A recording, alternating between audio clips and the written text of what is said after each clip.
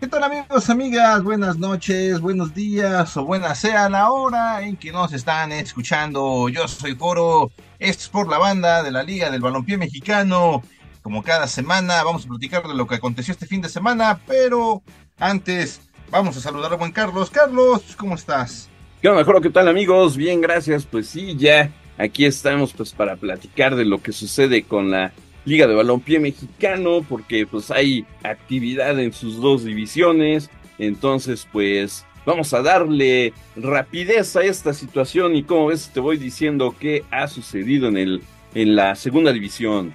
Va que va, Carlos. Cuéntame qué show, qué pasión, cómo les fue a los equipos en la segunda, para ver qué onda, a ver cómo nos fue también en la quiniela. Quiero saber. Ok, perfecto. Pues te comento los resultados de la jornada número 11. Ahí los borregos de Tezontepec le ganaron 3 a 1 a unos emperadores desgalletados. Ahora no le echaron galleta, no salieron estos emperadores pues a ganar. En el siguiente partido, los delfines se le pusieron al tú por tú al Tecos de Mascalapa, aunque perdieron, pero la neta, sacaron la casta, perdieron 3 a 4. Y en el último partido, el Industriales de Tultepec también se le puso al tú por tú al Carve Olaya, solamente que en esta ocasión, pues ahí perdieron 2 a 3 estos industriales de Tultepec. Y ya que ando encarrerado, te digo, la tabla en primer lugar está el Lobo Oscar con 24 puntos. En segundo puesto el Carve Olaya con 21. En tercero el Tecos de Mascalapa con 19.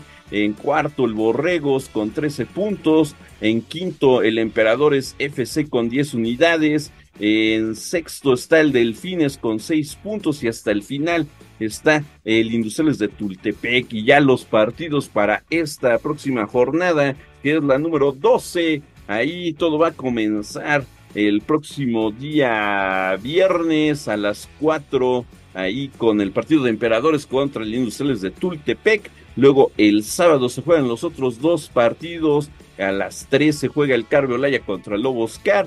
Y a las 4 el Delfines FC contra el Borregos de Tezontepec. Y va a descansar el Tecos de Mascalapa. Ya saben, chequen las páginas de los equipos de la Liga de Balompié Mexicano en su segunda división para que puedan ver los encuentros de esta categoría. Ah, no, pues está bien esto, Carlos. Pues me sorprende el delfín, no quedó el delfín está, bueno, no está hasta el fin. Exactamente, ha ido mejorando, la, la verdad, digo, eh, le ha tocado enfrentarse contra equipos un poquito más este, fuertes que ellos, pero la, la neta se está viendo un poco de mejoría y qué, qué chido, digo, pues ya se va a acabar el torneo, pero pues mínimo, mínimo se está viendo que va mejorando.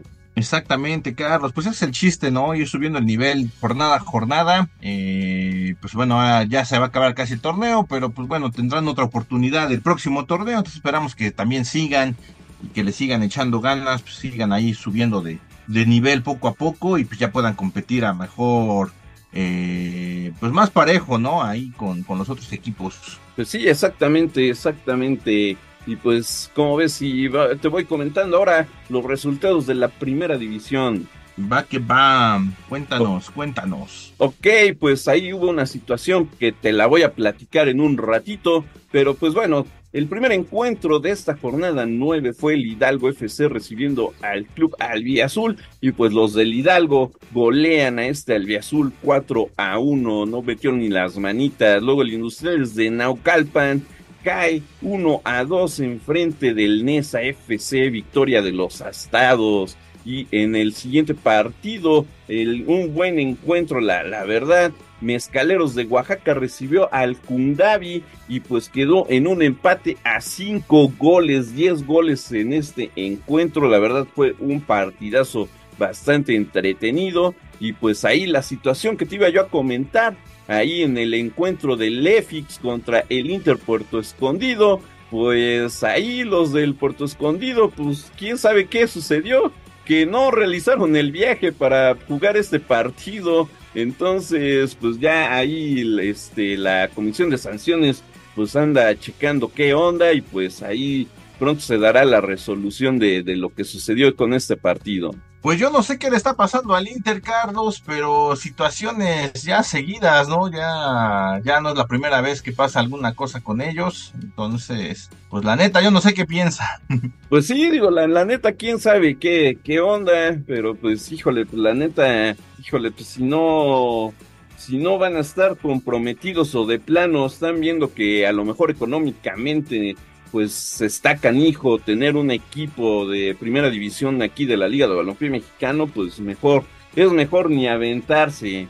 Pues sí, digo, a final de cuentas, pues mantener un equipo de fútbol tiene el amateur, te cuesta, o sea, tienes que tener la capacidad pues, para poder pagar arbitrajes, uniformes, eh, pues si hay, si le das algún premio a, pues, a, tus jugadores, o sea, los quieres tener bien y por ahí si te contratas a uno que otro talachero, entonces, pues la neta sí se va gastando una, uno una lana, entonces, pues yo igual creo, ¿no? Que aquí la situación pues va a de ser por eso, pues, eh, pagar viajes, hospedajes y todo lo que conlleva, pues ya ahora se le está cayendo, porque si está raro que no hubieran viajado, pues ya, ¿cómo es posible eso? Pues sí, exactamente, y lo peor pues es que este tipo de situaciones pues afecta la imagen de, de, la liga entera y pues bueno, pues ya que te digo, digo, ya medio como que se estaba estabilizando la situación, pero pues este tipo de, de equipos y situaciones pues no, no ayudan en nada.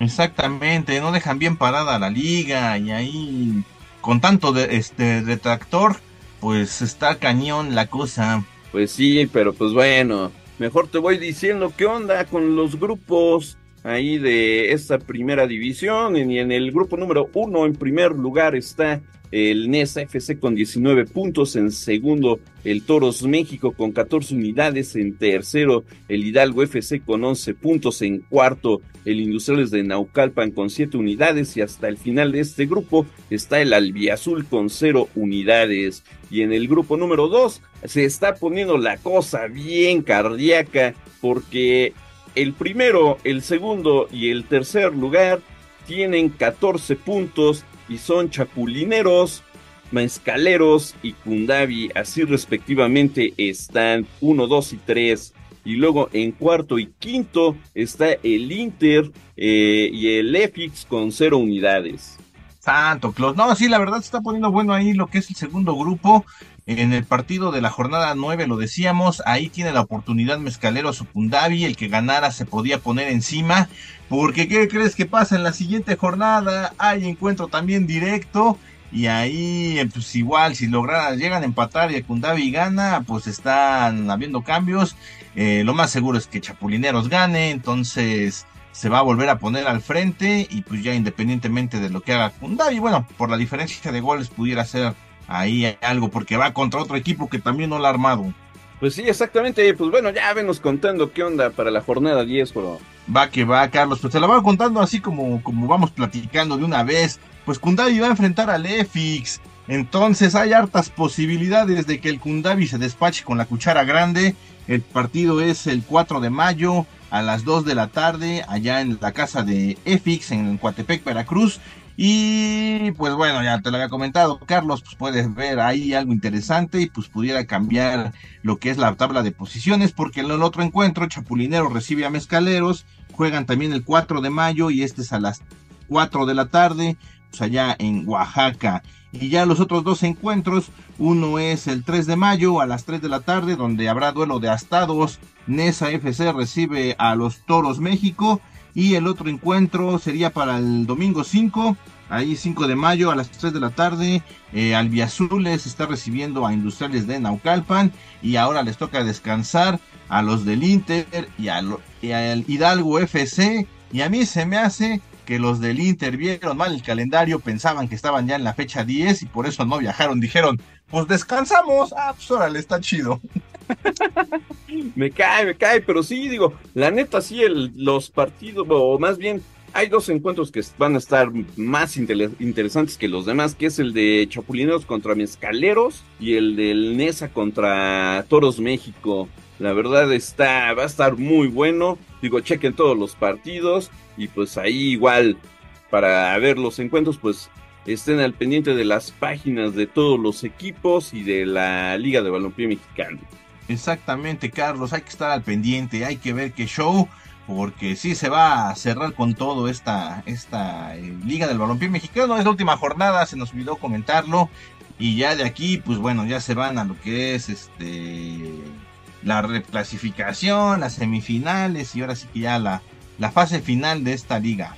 Exactamente, pues a ver, hay que estar bien al pendiente de esto y pues ahí está toda la información de ambas categorías y pues como ves, Goro, si vamos a checar qué onda con la quiniela. Va que va, me parece perfecto, Carlos. Cuéntanos cómo le fue a la gente. Memo mandó quiniela porque yo no veo los comentarios, se me burran.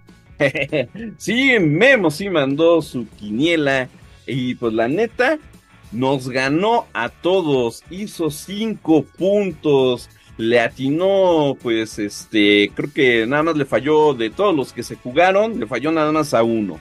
Va que va, no, pues sí, la verdad sí, y bueno, y fue el otro que no sabe qué pasó con el Inter, entonces, pues a ver. Pues sí, exactamente, hay un saludote al buen Memo, y pues ya de nosotros, pues ahí el buen Edwin hizo solamente tres puntos, y pues nosotros, Oro, y tú, tú y yo hicimos cuatro unidades, cuatro aciertos. Exactamente, Carlos, es lo que estaba viendo, que empatamos, empatamos en, en esto. Pues sí, exactamente. Y pues ahí están ya los resultados. Y como ves, si te voy diciendo, pues, qué nos mandó el buen Edwin ahí para lo, la quiniela de, de, esta, de esta semana. Va que va, Carlos, cuéntanos para que se la copie a él. O te la copie a ti, o se las copia a los dos, no hay bronca. Y nada más porque Memo la manda después, porque si no, también se la copiaría. Me cae. Bueno, pues te voy diciendo que ahí para los encuentros de la primera división en el primer partido del NESA contra el Toros México, le puso que gana el NESA FC. Para el siguiente partido de EFIX contra Kundavi, pues le puso que gana el Kundavi. Luego en el partido de Chapulineros contra Mezcaleros, pues le puso un empate a este partido. Y en el último encuentro de Albiazul contra el Industriales de Naucalpan, le puso que gana el Albiazul. Luego en el la segunda división en el primer encuentro de Emperadores contra Industriales de Tultepec le puso que gana Emperadores. En el encuentro del Carve Olaya contra Lobos Car le puso que gana el Lobos. Y en el otro partido de Delfines contra Borregos de Tezontepec le puso que gana el Delfines. Va que va, ya sé a quién copiar. va, pues ahí te va. Ahora mi quiniela ahí para que tengas este más de dónde copiar. Porque en el primer partido del NESA FC contra el Toros México, la neta, el NESA viene bien chido, viene mucho mejor. Digo, el Toros México viene bien, pero pues me voy porque gana el NESA. Luego en el Lefix contra el Kundavi, pues la neta, el Lefix no tiene nada que hacer, va a ganar el Kundavi. Luego en el partido de Chapulineros contra Mezcaleros, la neta, pues sabemos que los Chapulineros pues son el equipo a vencer, son el equipo fuerte de la Liga de Balompié Mexicano y pues van a ganar. Y en el encuentro del Albiazul contra el Industriales, pues ahora sí el fútbol va a estar feliz porque para mí que ganan sus industriales. Y en la segunda división, pues en el primer encuentro de Emperadores contra Industriales de Tultepec, a mí se me hace que ahora sí les toca ganar ahí a los Emperadores. En el partido del Carve Olaya contra el Lobos Car, pues me inclino a que gana el Lobos Car. Y ya en el partido de Delfines contra Borregos de Tezontepec, pues para mí ganan los Borregos. Eso es todo, los Borres. Eh, perfecto, Carlos. Híjole, pues sí está interesante ahí sus deducciones y pues algunos vamos a quedar igual, Carlos, otros no creo, pero pues a ver qué pasa, total. En esta vida hay que arriesgarse con los marcadores y el que no arriesga no gana y como no he ganado, vamos a arriesgar. pues échale. En el primero entre Nesa y Toros, me arriesgo, vámonos por el empate. Nesa ahorita ya no tiene nada que perder entonces, a lo mejor sale con, con equipo de suplentes y pues ya nada más a, trámite, nada más. El siguiente entre EFIX y el Kundavi, pues yo creo que el Kundavi va a ganar. Entre Chapulineros y Mezcaleros va a ser un empate, como que lo presiento, no sé por qué siento que van a empatar. Y entre Albiazules e Industriales, ahí sí te la copio. Queremos ver al fútbol feliz porque ya tiene rato que no, no lo he visto, Carlos. No sé en qué bar lo dejaste empeñado, pero pues, no, ya tiene rato que no lo veo. Anda ahorita como, como vender de Futurama. Ándale, exactamente. Y ya en la segunda división, emperadores contra industriales, pues sí, yo creo que los emperadores le van a meter galleta. Este, van a ganar. Entre el Car B, Olaya y los Lobos, a mí se me hace que el Car va a ganar. Sí, los Lobos andan bien, pero yo creo, también tengo el presentimiento que el Car va a ser la maldad. Y entre Delfines y Borregos, Mm, pues a lo mejor un empate. Ahí el Delfines va a querer sumar aunque sea un puntito de más en su casa. Empate. Ok, muy bien, pues ahora sí estuvo variadita. Ahí este la quiniela de los tres. Y pues ahí, pues ya saben, participen, manden su quiniela. Y pues ahí este, pues hagan más divertida la Liga de Balompié Mexicano junto con nosotros. Y pues yo creo que ya, ahora sí, ya se acabó todo, Joro. Vámonos despidiendo. Vámonos, porque ya es tarde y se acaba el tiempo, Carlos. Ahí le mando su abrazote virtual a toda la gente y te veo y los veo cuando nos tengamos que ver. Hasta la próxima. Bye. Gracias, Joro. Gracias, amigos. Y pues ya saben, las recomendaciones de siempre. Suscríbanse al canal, activen la campana de notificaciones. Déjenos sus likes. Esos likes nos ayudan bastante para que YouTube nos ande promocionando más dentro de la plataforma y podamos llegar a más gente. También otra cosa bien importante, vean nuestros videos de principio a fin, incluidos los comerciales que les salgan, porque esos comerciales a nosotros nos ayudan a mantener el canal. También dejen sus comentarios, qué opinan de esta liga, qué opinan de los partidos de los equipos, y pues ahí los vamos a estar leyendo y respondiendo. Y pues ahora sí, ya me despido. Yo soy Carlos, muchísimas gracias. Y ya se las sábanas, ahí les encargamos el changarro. Cierran y apagan todo porque esto fue por, la, banda. Ay, ay.